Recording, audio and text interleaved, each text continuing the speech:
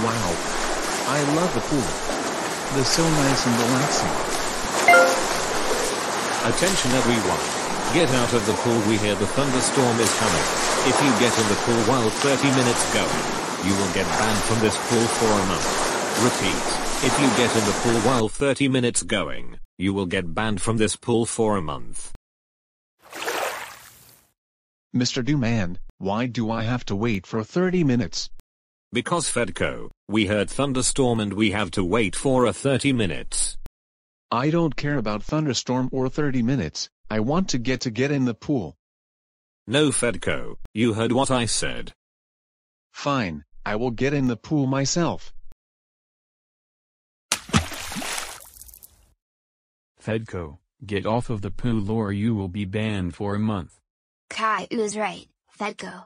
Get out of the pool or you will be banned for a month. I agree with Caillou and Chase, get off the pool or you will banned for a month. Nope. That's it, you are banned from this pool for a month. Get out of here right now before I call the cops.